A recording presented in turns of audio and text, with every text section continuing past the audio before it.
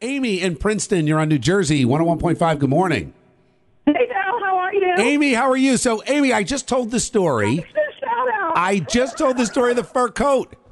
You know, it literally. That's hysterical. All right. So, so Elizabeth literally looked like a bear climbing over the seat. I, I, and did you hear Eric, the guy that sold me the tree, called and he watched this whole thing unfold without without helping me.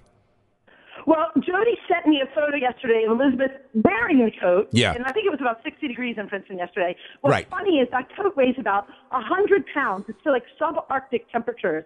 But Right. when I gave it to her before she left for London, she was, she was, I've never seen anyone happier actually. She was actually crying. You know what? She was, was um, she wearing she was wearing the coat when she when her uh, her passport and the visa came by UPS, right? Yes, she was. And I think that she would actually wear sleep in the coat. I think she would wear the coat 24 hours a day if she could. I I have only seen her with the coat.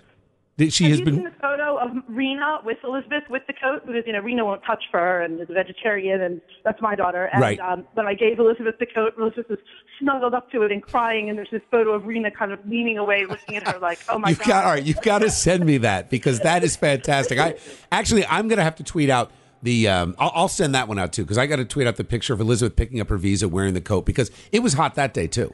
Like it's it's hot out. Yeah. There's- we're talking about the girl who wore Oh, yeah. five inch heels to, Yeah. to tour London. So she'll suffer. She'll suffer. She'll, All right. she'll sweat. It's So fine. Amy, real quick, I, I only have a minute, but I have to ask you. So what did you think of Liz Mandel? I think she's crazy. First of all, if somebody would buy, pajamas are supposed to be comfortable. What do you mean she means she should buy them a size too small? What is she talking about? I, you know, I you're getting a lot of support here in the studio. I'm seeing hands are going up. We had a whole discussion about this after after she hung up, and uh, What was, what was she saying about like if you want to buy your wife something that zips up, you have to think about why you want to make the baby? What is she talking about? Well, I, you know, in her defense, I think she was going after that that stat that said that that uh, the most popular uh, time for for uh, new babies is the middle of September, which puts you back to Christmas. So I think she was going off of that. right, because it's cold and you're indoors. There's nothing to do. it's not about the holiday. That's exactly it. You're snowed in. Uh. Man, it's great. Okay, let's have hot chocolate. Let's eat really good food. Let's stay in bed all day. That's why.